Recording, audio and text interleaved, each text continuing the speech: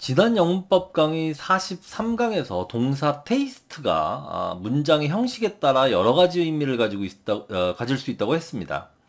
가령 3형식으로 쓰이면 무엇 무엇을 맛보다 의미가 있다고 했고 2형식으로 쓰이면 뭐뭐한 맛이 나다의 의미가 있다고 했죠. 그래서 다음 두 개의 예문들을 예로 들었습니다. 그런데 여기서 제가 브로스를 수프라고 해석했습니다.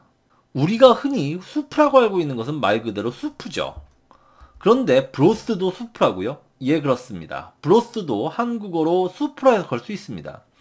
영어에는 수프 이외에도 broth, chowder, stock, 스튜, porridge 등 어, 이런 음식들을 비슷한 음식으로 볼 수 있는데 이 중에서 우리가 미국 등 영어권 사회 식당의 메뉴판에서 자주 볼 수 있는 브로스와 차우더에 대해서 한번 알아보도록 하겠습니다. 수프는 보통 곡물을 베이스로 하며 어, 걸쭉하게 만드는 것이 보통이죠. 반면 broth는 소고기나 닭과 같은 육류를 베이스로 하는 수프입니다. 한국의 곰탕처럼 뼈를 고아서 만들기도 합니다. 국물이 맑기 때문에 얼핏 보기에는 육수처럼 보이기도 합니다. 실제로 육수라는 의미도 있습니다.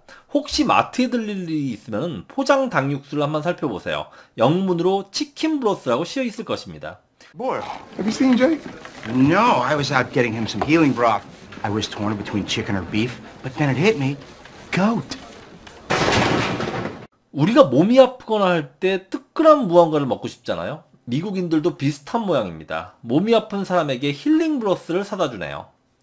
애니메이션 쿵푸 팬더에서는 broth가 육수의 의미로 쓰였습니다.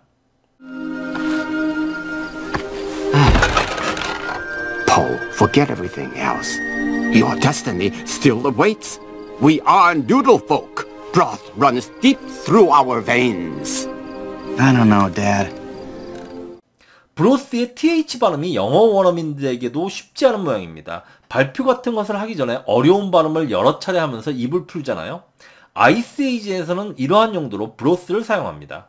Yeah, nice try, Jungle Jim. Now go ahead, make fun. Okay, he got it. Oh, chichibu. Oh, uh, thank you. Uh, may I try? Yeah, knock yourself out. Okay, watch this. me, me, me, me, me. Six lost sip broth, six lost sip broth. 차우더는 어, 조개나 생선과 같은 해산물을 베이스로 하는 수프입니다. 감자, 양파, 옥수수 등을 같이 넣어서 먹는데 어, 국물이 수프만큼 걸쭉한 것이 특징이죠. 재료로 대합이 특히 많이 쓰이는데 대합은 영어로 클램이라고 합니다. 그래서 클램 차우더를 영어나 미드에서 자주 들을 수 있습니다. Um, I- I'll just have a coffee, thanks. Sir, anything you order is free of charge, sir. Why is it free of charge? Whatever. Uh, I'll have the clam chowder, the fried chicken with the baked potato with everything, and a chocolate chiffon pie.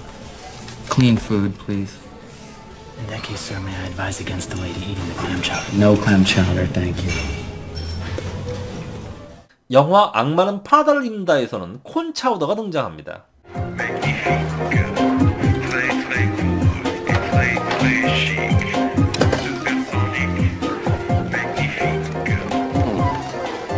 Corn chowder. That's an interesting choice. You do know that cellulite is one of the main ingredients in corn chowder. 예전에 학생들한테 이런 것들을 설명하니까 다 수프로 통일하면 되지 뭐 이렇게 복잡하냐고 불평을 하는 친구가 있었습니다.